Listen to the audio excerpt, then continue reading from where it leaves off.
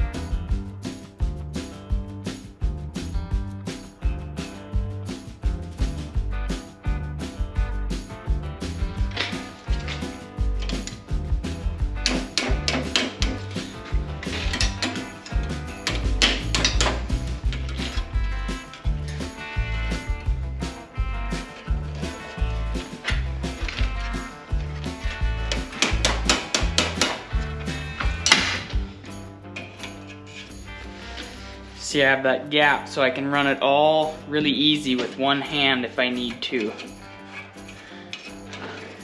That way if I'm running a cutting torch, my offset reins, I can, or not a cutting torch, but a torch for final adjustment. I can do it all one-handed really easy. Hey guys, I hope you enjoyed this video of these 90 degree scroll tongs. If you did, check out my playlist on tongs, all kinds of good stuff over there. If you haven't already, hit subscribe, hit the like button, and hit that little bell for your notifications and you won't miss a minute of the action. And we'll see you guys here next week.